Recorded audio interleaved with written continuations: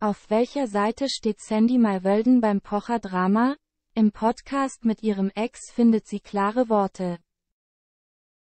Die Schlagzeilen über das Pocher-Ehedrama überschlugen sich in den letzten Tagen. Nachdem die beiden ihre Trennung bekannt gaben, kam schnell eine dritte Person mit ins Spiel. Angeblich hat Amira längst einen neuen Mann an ihrer Seite.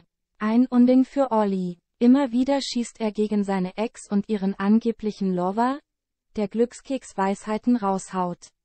Auch aus deinem gemeinsamen Podcast wurde Amira gekickt. Stattdessen ist seine andere Ex-Frau Sandy Malwölden eingesprungen. Auch sie hat eine klare Meinung zu dem Ehedrama. Das sagt Sandy Malwölden über das Ehe aus. Sandy ist eigentlich mit Oliver und Amira befreundet. Dementsprechend schwer ist die momentane Situation für sie. Ihr wart beide gleich daran beteiligt, dass es nicht funktioniert hat. Dir geht es nicht gut, Amira geht es nicht gut. Jeder macht Fehler. Man kann das jetzt nicht ändern, stellt sie im Podcast Die Pochers klar.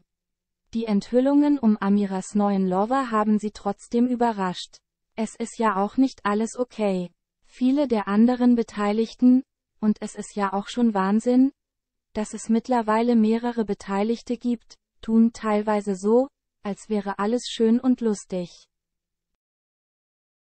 Bei Olli sitzt der Schmerz immer noch tief.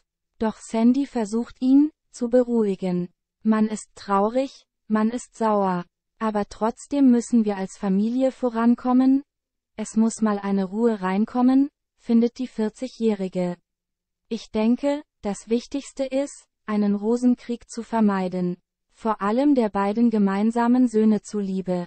Ob das wirklich gelingt? Olli kündigt bereits. Ich werde weiter den Finger in die Wunde legen.